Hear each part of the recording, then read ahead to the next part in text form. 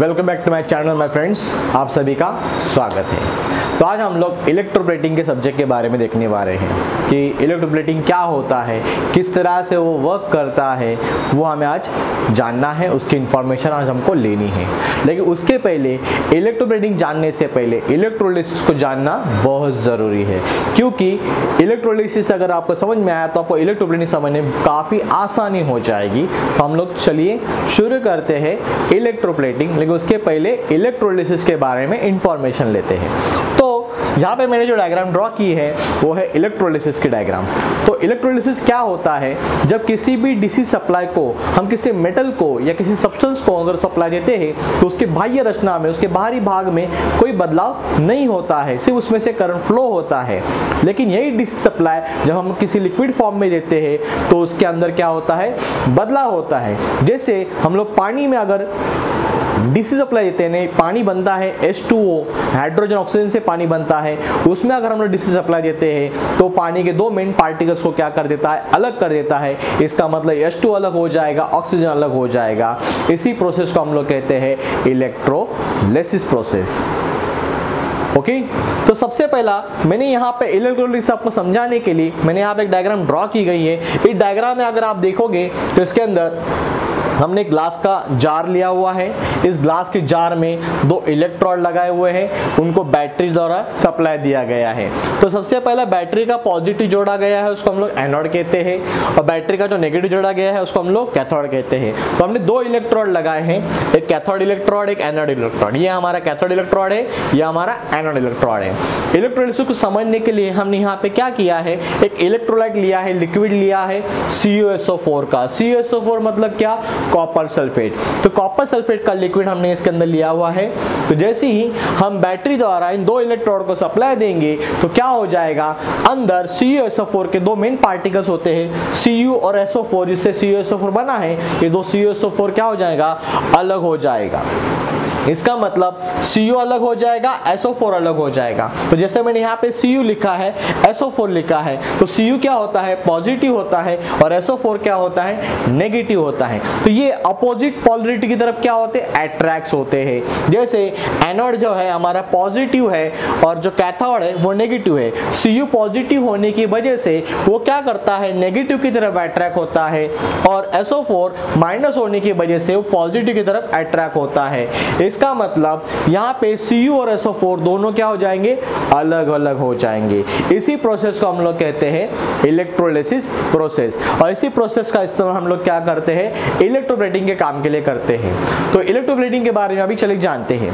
तो इलेक्ट्रोप्लेटिंग क्या होता है कि जब एक धातु के ऊपर दूसरी धातु का लेयर चढ़ाया जाता है, उसको हम लोग कहते हैं इलेक्ट्रोप्लेटिंग तो इलेक्ट्रोप्लेटिंग करने के लिए हमने यहाँ पे एक डायग्राम दिखाई है, जो आपको अच्छी तरह से समझ में आ जाएगा कि इलेक्ट्रोप्लेटिंग किस तरह से किया जाता है।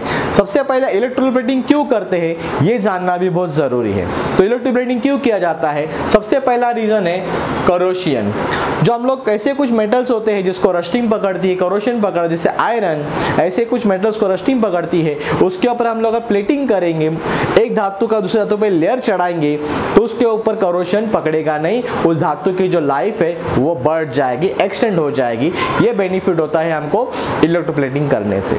सेकेंड है इंचांस अपीयरेंस यानी उस धातु की सुंदरता बढ़ जाती है। दिखने में वो खूबसूरत दिखता है अट्रैक्टिव दिखता है। जैसे गोल्ड प्लेटेड वॉचेस आती है, या क्रोमियम प्लेटिंग के हैंडल्स होते हैं डोर्स होते हैं, जिसको हैंडल बार्स होते हैं। तो वो ओके थर्ड है इंक्रीज ड्यूरेबिलिटी धातु के अंदर जो टिकाऊपना है, मजबूतपना है, उसके अंदर वो बढ़ जाता है। वो हार्डनेस बन जाएगा, उसकी स्ट्रेंथ बढ़ जाएगी तो इंक्रीज ड्यूरेबिलिटी भी है, ये इंपॉर्टेंट पॉइंट है तो ये इलेक्ट्रोब्रेडिंग करने से हमें एडवांटेज मिलता है।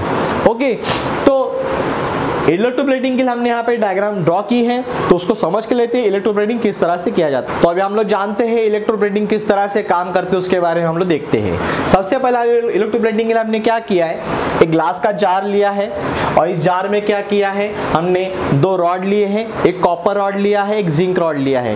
कॉपर रॉड क्यों लिया है? क्योंकि मुझे लोखंड की प्लेट के ऊपर कॉपर का प्लेटिंग करना है, इसके लिए हमने कॉपर रॉड लिया है, और हमने आयरन रॉड लिया है। तब इसे जिसका प्लेटिंग करना होता है, जिस धातु का प्लेटिंग करना होता है, उसका ही इलेक्ट्रोलाइट यानी उसका ही लिक्विड हमें लेना पड़ेगा। जैसे मुझे कॉपर का प्लेटिंग करना है तो उसके मैंने लिया सी एस ओ फोर यानी कॉपर सल्फेट लिया हुआ है। ओके तो मैंने यहाँ पे कॉपर सल्फेट का लिक्विड लिया है, क्योंकि मुझे प्लेटिंग करनी है कॉपर की लोखंड के ऊपर। तो मैंने उसका लिक्विड ले लिया है। तो नेक्स्ट पॉइंट है कि मुझे जिसका प्लेटिंग करना है, उसका बैटरी को पॉजिटिव को जोड़ना पड़ेगा और जिसे प्लेटिंग करनी है वो नेगेटिव पे जोड़नी पड़ेगी। यानी इसके लिए मैंने कॉपर की प्लेट को बैटरी के पॉजिटिव यानी एनोड से कनेक्टेड किया है तो ये एनोड बन गया है।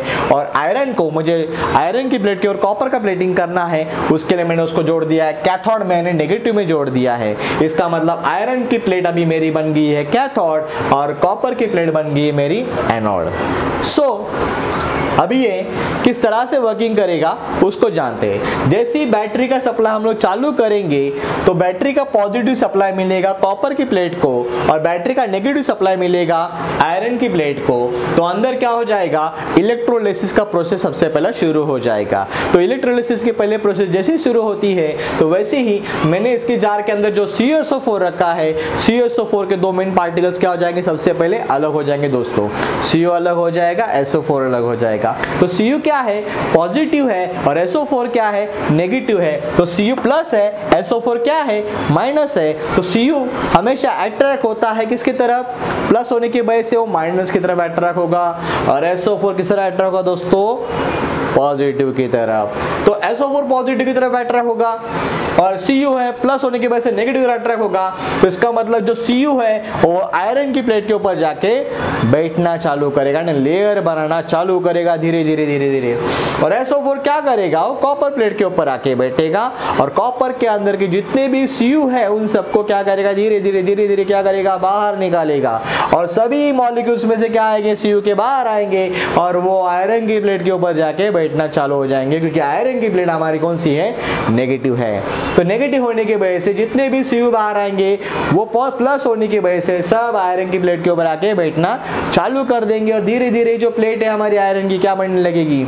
कॉपर की दिखने लगेगी। और धीरे धीरे इस कॉपर की प्लेट का थिकनेस क्या होने लगेगा दोस्तों? कम कम कम कम होने लगेगा। और आयरन की प्लेट का थिकनेस धीरे धीरे क्या होने लगेगा? बढ़ने बढ़ने लगेगा।